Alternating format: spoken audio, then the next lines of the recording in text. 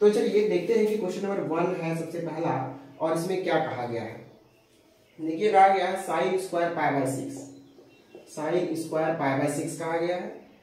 Plus cos square pi by three plus cos square pi by three फिर कहा गया है minus tan square minus tan square pi by four minus tan square pi by four is equal to minus one by two is equal to minus one by two ये चीज़ जो है आपको proof करना है, ठीक है?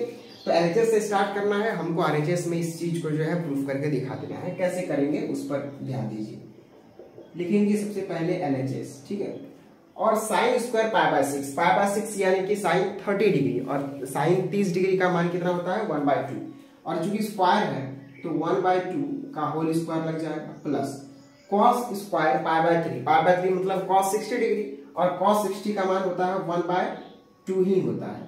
उसका भी स्क्वायर है माइनस अब टेन पैंतालीस पाई बाय फोर मतलब टेन फोर्टी फाइव डिग्री, और पाई बाय फोर मतलब टेन फोर्टी फाइव डिग्री, और टेन फोर्टी फाइव का डिग्री का मान कितना होता है? वन तो उसका वैल्यू वन हो जाएगा और वन का यहाँ पर ये स्क्वायर हो जाएगा, ठीक है?